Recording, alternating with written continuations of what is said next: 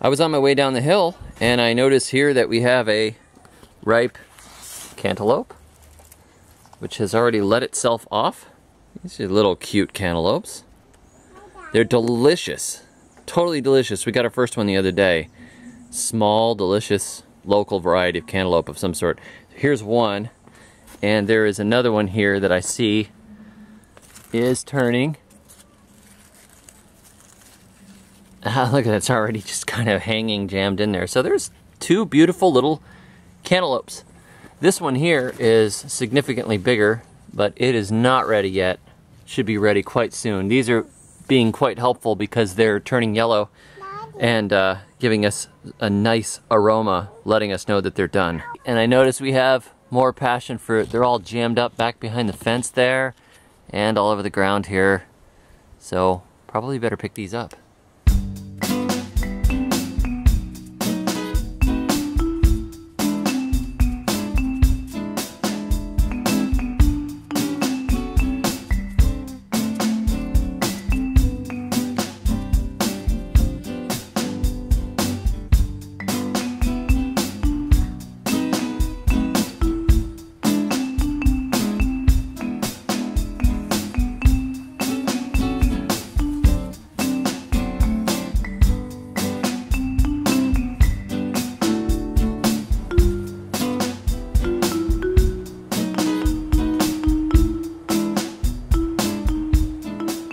Decided to come down here to see the yams and the cassava and see if there are any more bananas or plantains we can harvest and bring back to the house because we have just about run out of them. Yams are looking pretty good here. Something's been chewing or rotting the leaves a little bit though. I don't know what that is. They don't usually have much in the way of trouble. Cassava's looking good in these next couple of rows. Yeah, see a little more damage there. Who knows? Looks like we have a bird's nest in this one. Look at those cassava. A few more months we'll be pulling these out. I planted these Mexican sunflowers over here. These are Tithonia diversifolia, not to be confused with Tithonia rotundifolia, which is the orange annual Mexican sunflower. These are the perennial one that is awesome for fertilizer.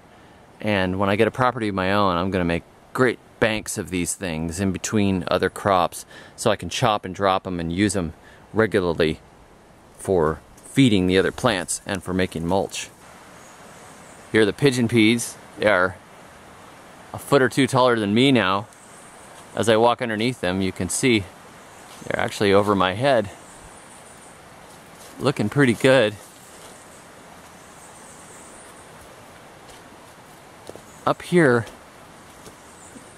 there's some bananas we could probably pull and eat them green. Isn't this great? Look at all these pigeon peas.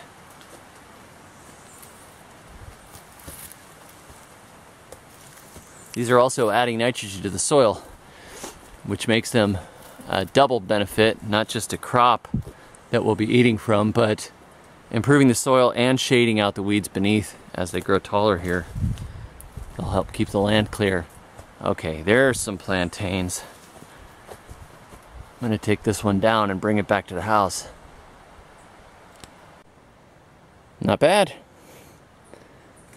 It's a couple of meals there. Pumpkin vines are looking good. Got some flowers just about to start. Look at them sprawling all over here. We've gotten a lot of rain lately. It was dry for a bit, but now it's been raining and raining and raining and raining. So these guys are just having a great time. So are the weeds though. Probably need to get back down here and knock down stuff and the stuff around them so they can have plenty of space to run. These are some tropical pumpkins. Great big things. Maybe 16, 20, 24 pound pumpkins. Cucurbita moschata most likely.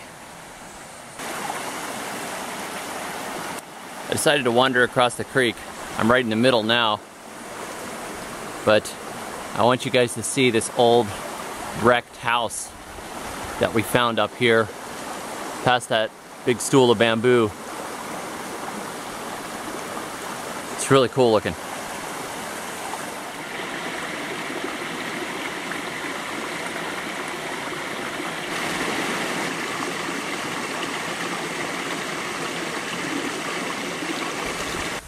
Up above the creek now.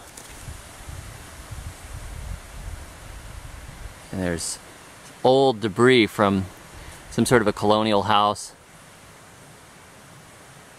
I'm going to go up and show you the rest of it. Beneath this bamboo and kapok tree, above the creek, here is a ruined wall with a window through it. And there's all kinds of debris and leftover walls here. Old pillar supports. And then a water tank here. And it goes further up into the hill.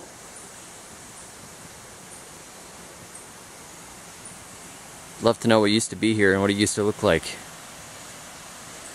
The uh, tropical rainforest eats things very quickly, so after a while it's amazing you can see anything at all.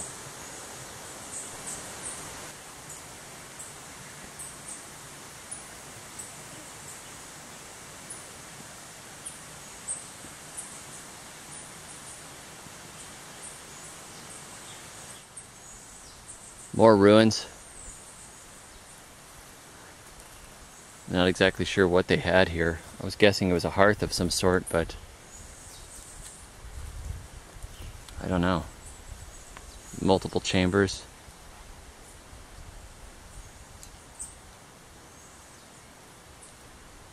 I don't know, maybe one of you guys will have an idea what this is.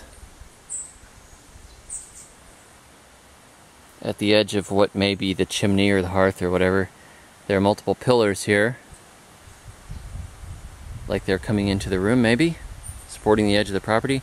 But then this is just See, there's one, two, three pillars in a row, and then outside here, this is just a big jumble of fallen stone and masonry, and bricks.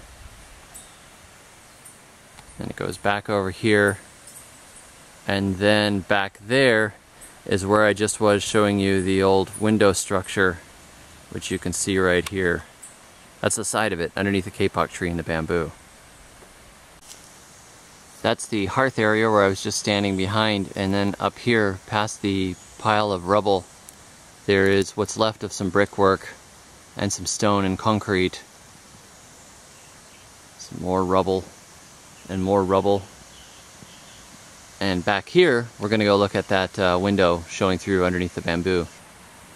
Okay, looking at it now, it's obvious that was not intended to be a window.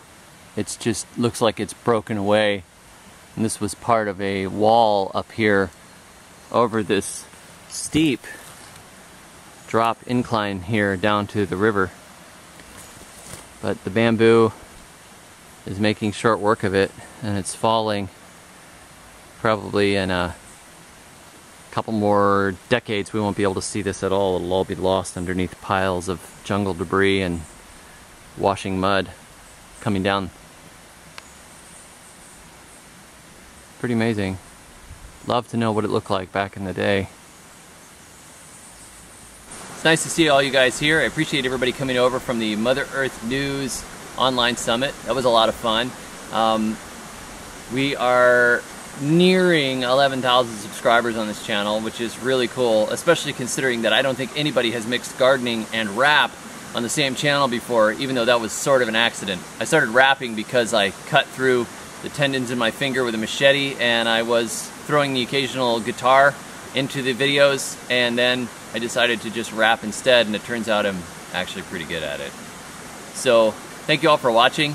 I don't know what you're supposed to learn from today's video other than it's fun to wander through the jungle and look at ruins, but I'm glad you joined me. Be sure to like and subscribe and catch me on the web at thesurvivalgardener.com. Catch you next time. And until then, may your thumbs always be